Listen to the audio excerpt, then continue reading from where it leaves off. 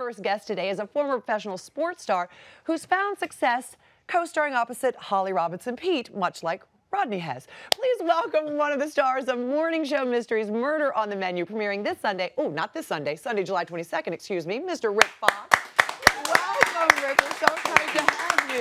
Good to be back. Great to be back. Hey, hey, Rick, I understand you have a very attractive co-star. Yeah. Right? So how was it working with Holly? How did you guys get along? Uh, I I don't know how you go home to her every night. It's, Oh, it's not it's bad. difficult, Yeah, right? I ask myself that all the time. Right. No, it's been great. Uh, I always say that in Hollywood, there's so much hurry up and wait. You know, it's nice when you're waiting to have friends around that you can talk. You have a shorthand. The families we know each other, so it's been it's been fun that way. I need to basically continue to come over and study you so that I know how, how to portray uh, the romantic side of this. Uh, but it's it's been great. It's really been fun. So this is the second installment in the series. What can we expect from Murder on the Menu? Well, a lot of uh, a lot of the same in terms of mystery. Uh, Okay. We have another another murder, murder to solve. Uh, in my case, I always say Ian Jackson's job is to keep Billy Blessings out of prison for impersonating a police officer. so I have to try to solve this crime before she does. She's always one step ahead of me.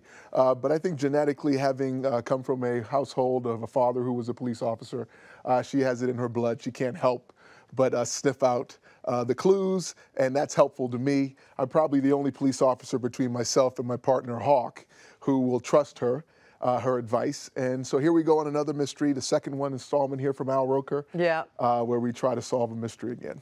And you know, there's a there's a growing romance. I think one of the reasons you trust her and she trusts you is because there's a a little bit happening, Rodney. I, do I need to close your ears for me to talk about this? There's there's some. We're two ships passing in Well, the night all are the you? time. But are you? We We're, have a we're little- trying. Uh, we're trying to figure it out. Uh, it Yeah. may take. Hopefully, it may take 15 to 20 episodes. So you're gonna keep us out. hanging is we're what gonna keep. saying. We're gonna keep trying. Uh, uh, like I said, I got to come. Spend some time with Rodney to figure out how to, how to, how to close the deal and get a little I need closer. a but- vacation from time to time. Come on. Well, we have a clip of this ser- of this uh, this installment where you, you're still ships passing in the night. Take a look. So it was just coincidence you were at my house last night? No, he came by the restaurant, so I thought you should know about Why it. Why didn't you leave a message? I didn't want to intrude. On the babysitter? Babysitter? Wait a minute. You thought And you, you never called. And you said it was hard to explain, so I just assumed that. my ex-wife got transferred out of town. Emma's shy, and we all decided that she should stay with me. So that's what you meant when you said your life got a little crazy. Emma and I are still trying to figure out a routine. And she misses her mom, and I'm at work all the time. I just didn't think it was the right time to start dating. Oh, no, no, of course not. Will you do me a favor?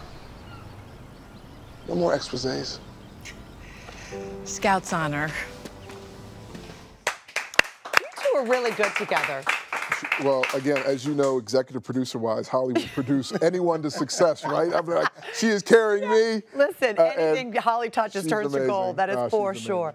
Now, does does it make you feel a little uncomfortable that one of your good friends and your wife maybe having a, a little romantic liaison on camera? As well, as Holly would say, it, it kind of would help if Rick wasn't so easy on the eyes. Oh, I see. Yeah. Yeah. Um, but no, we know each other. We've known each other a long time, so so I'm comfortable with it. it. It's easier, I guess, when you know the person Yeah, and you it's respect each other, so it, it helps a little. And you bit. know they're not going to cross any lines. Exactly. That is true. Yeah, and you know what? Plus, our, our kids grew up together. They spent a lot of time together. We used to live close by each other. up in the My daughter, in fact, uh, just completed her second year of college. But you and your former wife, Vanessa, just celebrated a big milestone with your daughter, Sasha. Sasha turned 18, but she also graduated from high school. my and, gosh, and it's, it, time flies, right? I know Ryan is, Ryan, like you said, Ryan's finishing her second year at, at school, and now she's heading off to Chapman. And, Oh my goodness. in film and television as well, staying in the family business, I guess. And I'm looking forward to that. Uh, it's going to be a joy to have her on the West Coast, but I, I hope she decides to come home for the weekend from time Yeah. to time and see dad and, and mom. I mean, it, it just goes like that. I know, it's too quick. It really is too quick. It is and- way too quick. yeah, uh, I just hope the dogs don't graduate and go to college. so you don't have empty nester quite yet. Right, You're going to yeah, keep the dogs around. You, I know, since it is Christmas in July, we were asking about uh, Christmas memories, and I know you have a Christmas memory that that just still lives today that you all talk about constantly. We do. Uh, Christmas brings up a lot of feelings for my boys. Uh, my son, in, in particular, he is a little older than my daughter, and my daughter was the only girl for me, and she's the last one standing, as we just talked about there. You see that Christmas tree, well, both of those Christmas trees. That's the, that's not the family Christmas tree. That's her Christmas tree. Oh. So so every okay. year we'd get a family Christmas tree that was in the living room, Yeah. and Sasha wanted her own Christmas tree. Oh, wow, So one okay. one one of the Christmases, uh, she was getting, you know, she's about four or five years old, and she made a Christmas list, just like all the kids did, and hers was a little longer than everyone else's. Hers was about four pages long. and Dad, you know, being a being a daddy's girl, I, I, I just wanted to get her at least a fair share, maybe three pages. Oh, wow, Rick. For Christmas, and so we unfortunately had a blizzard roll through New York, and so for three days we were all trapped in the house. So FedEx couldn't show up.